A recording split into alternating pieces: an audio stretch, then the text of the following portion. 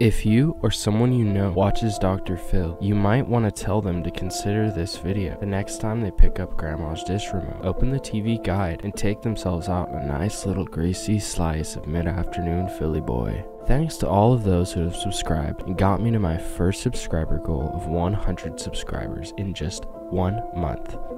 Okay, maybe a little more. I'm trying to get to 1,000 before the end of 2023. So, without further ado, welcome to my fourth video, and welcome to False Prophet, the Phil Psychosis.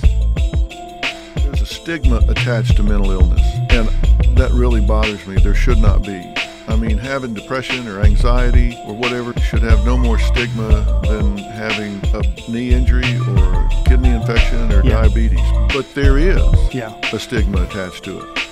And I've tried to talk about this in a way where it's okay to talk about it and not be ashamed of it. It's, it's okay. If you've got anxiety, you've got PTSD, wh- whatever, it's okay. Let's talk about it. Let's get help for it, get it behind you, and move on. I mean, it's not, it's not something that you should be ashamed of.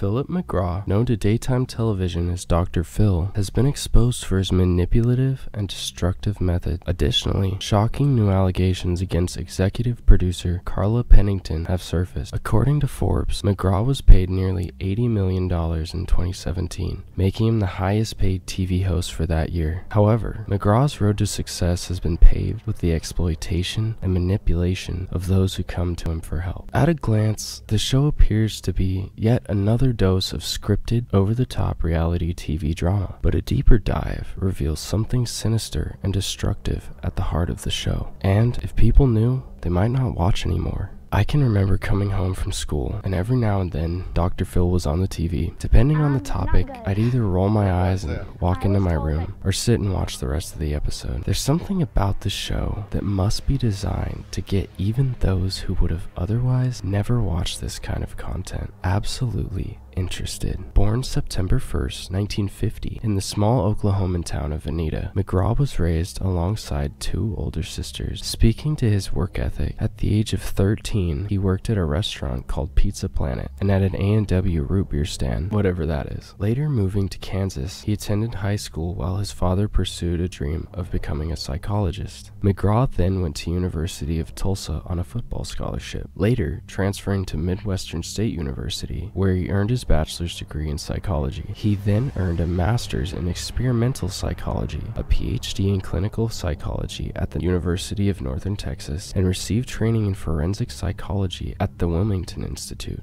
McGraw co-founded Courtroom Sciences, Inc., in 1990 with a lawyer named Gary Dobbs. Also known as CSI, Courtroom Sciences Inc. is still a trial consulting firm that aids in jury selection and witness training, among other things. This is the platform that allowed McGraw to be contacted by Oprah, eventually leading to his massive success on TV. There was even a 2017 TV show produced by CBS, ironically titled Bull, based on this time in McGraw's life. Once CSI gained some renown, Oprah hired the firm to help her prepare for a 1998 lawsuit known as the Amarillo Beef Trial. Oprah won the case and attributed her win mostly to McGraw. This prompted an invite for him to appear weekly on her show. With the help of Oprah, McGraw started his own production company, Pitsky Productions, if I'm pronouncing that right, which allowed him to start his own show, which first aired September 16, 2002. Since then, the show has seen around 3,500 episodes. However, many people have been negatively impacted, and some have even been permanently traumatized from their time on the show. The things guests are referring to haven't necessarily been showcased on camera, but rather have been happening backstage and even post episode. Many guests have documented negative experiences during their time on the show. When viewed together, one can make the assumption that the Dr. Phil show may be mostly out to make money, not help their guests. The first case we will go over is that of Todd Herzog, who claimed a victory on China's version of the show Survivor. Herzog claims the Dr. Phil production crew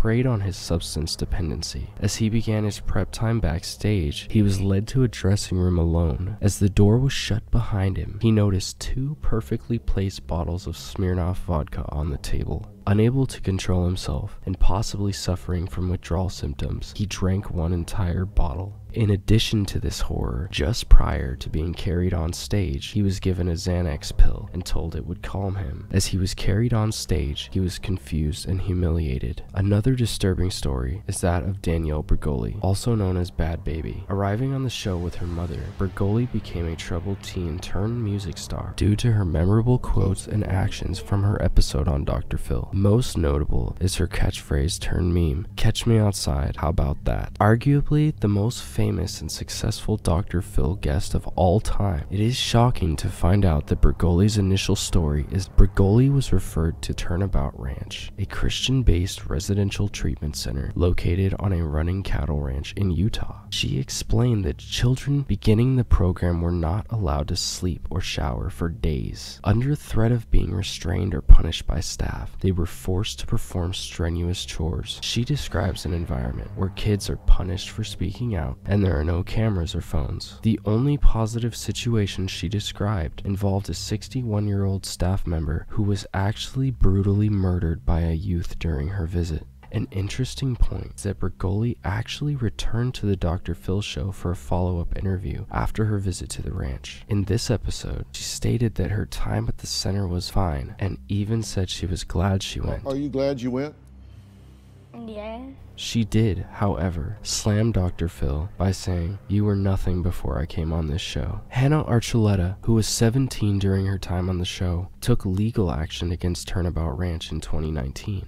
Archuleta says that within her first two weeks attending the facility, that she was sexually abused by a staff member. Upon reporting the abuse to the other staff at the ranch, Archuleta was subjected to additional physical and emotional abuse in effort to silence her. This included taking away her ability to use the restroom, increased manual labor, and sleeping solely on a wooden plank.